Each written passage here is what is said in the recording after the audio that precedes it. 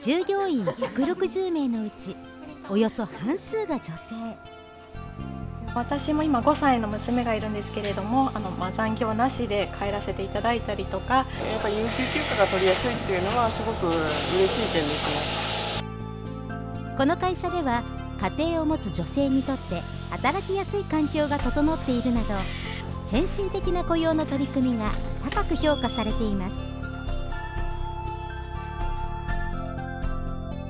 岐阜県や国からも数多くの賞を受賞してきました。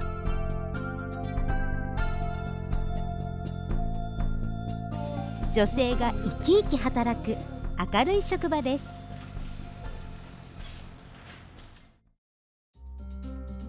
岐阜県山形市。岐阜市の北部に位置する清流の里。この町には多くの水道部品の工場が立ち並んでいます。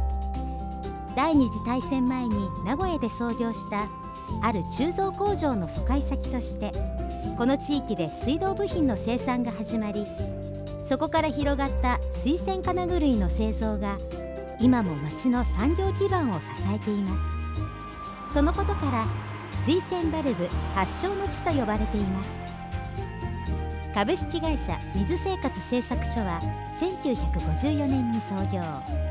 2012年に現在の社名となりました当初はその大手メーカーさんとかお客様、まあ、B2B といいますかそういうところから請負仕事が多かったんですがそういう中から私たち独自の商品も作るような形でやっていこうということでそして作らせていただいている。現在では日常生活に密着した水回り製品を中心に幅広く取り扱っています。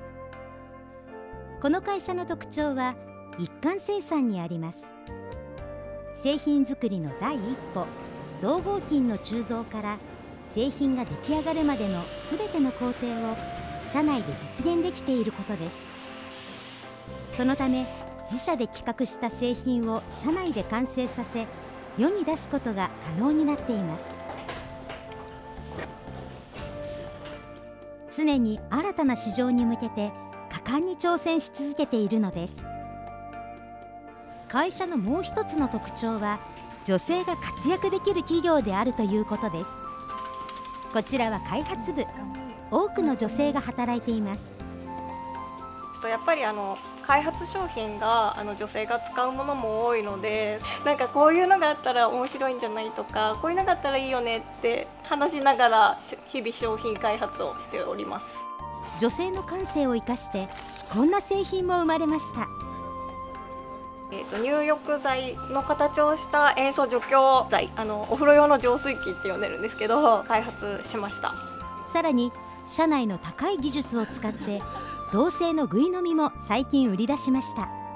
実際に開発者のものをあのネットに世に送り出していけるっていうところに喜びを感じてます、まあ、やっぱり自分も一ユーザーとしてどうしたら使いやすいかとかを考えれるなと。